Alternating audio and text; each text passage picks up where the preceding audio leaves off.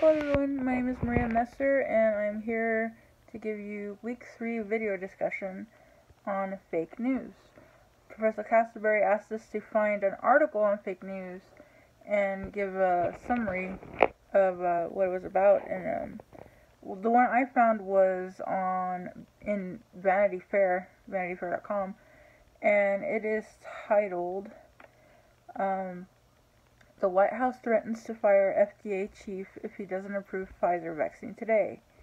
Uh, the article talks about how um, Chief of Staff Mark Meadows um, decided to tell the Commissioner Stephen Hahn of the um, FDA that if he doesn't approve this vaccine for, from Pfizer uh, by the end of the day today, Friday, uh, that he needs to resign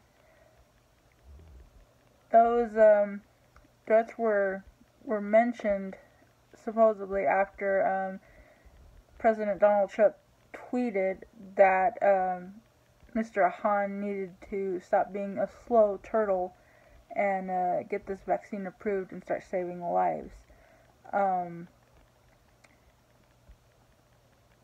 trying to not let this get on my nerves, and I needed a fact check just for myself. I found another article that says otherwise, of course.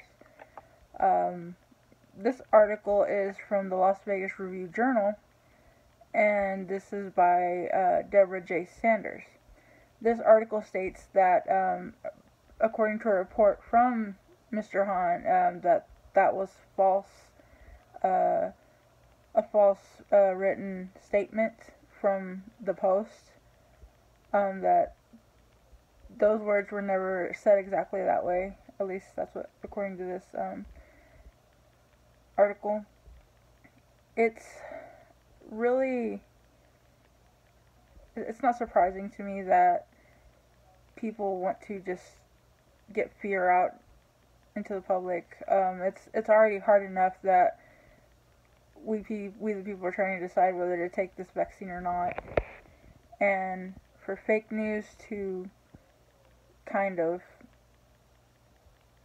mold it their own way um, just for their views or their responses or, just for their benefit. Um, I feel it, it's disappointing to me.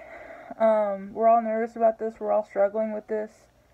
And, uh, yeah, kind of tired of this already, just like everybody else. But um, the first report or the first journal that I found, sorry guys, I'm tired. Um, from Vanity Fair was by um, journalist Bess Levin. This was written um, December 11th, and the one I fact checked with that may, may even be misinformation um, was written on also December 11th. Um, so I'll uh, put a link in my um, discussion box and uh, you decide what's right, what's wrong. Thank you guys.